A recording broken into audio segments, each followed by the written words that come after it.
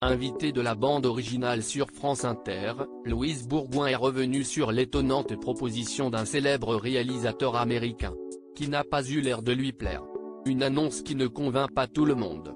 Louise Bourgoin était l'invitée de la bande originale sur France Inter, ce mardi 29 août 2023, à l'occasion de la sortie de son dernier film Anti-Squat, attendu en salle le 6 septembre prochain?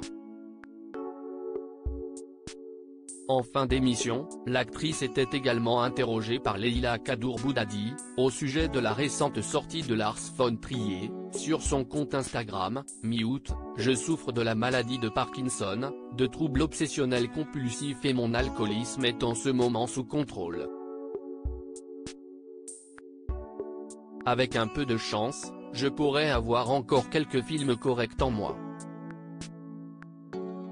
Je suis à la recherche d'une petite amie ou d'une muse. J'insiste sur le fait que dans un bon jour, en bonne compagnie, je peux être un partenaire tout à fait charmant, a effectivement proposé le réalisateur de 67 ans.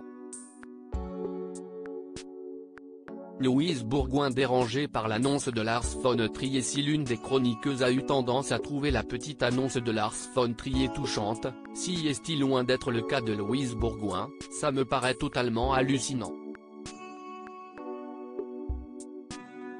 C'était le 1er avril, non? A lancé la comédienne avant de poursuivre, si est-il le terme muse qui me dérange un peu. Je ne sais pas. Si est-il le rôle d'une femme qui serait là pour l'inspirer, à disposition, un peu passive, si est-il un peu vu et revu, un peu dépassé, non? Et quand Nagui met en évidence le fait que de grands artistes comme Serge Gainsbourg devaient aussi certaines de leurs plus belles réalisations à leur muse, Louise Bourgoin tente de rectifier, on peut tomber amoureux de quelqu'un et être inspiré tout d'un coup, mais Castor une muse si est autre chose, si est autre chose? Louise Bourgoin taquine. Il semblerait aussi que la proposition du célèbre réalisateur de Nymphomaniac, Mélancolia ou encore Dogville, n'ait pas été interprétée de la même façon par tous. L'animateur de France 2 a d'abord pensé que la relation recherchée par Lars von Trier se voulait chaste.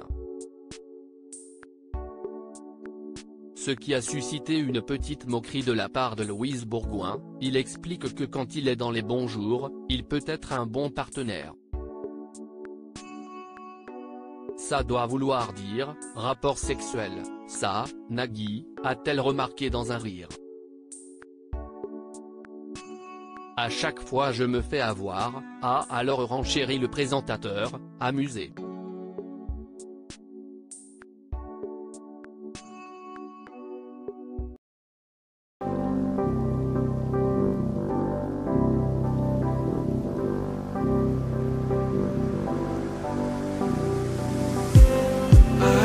just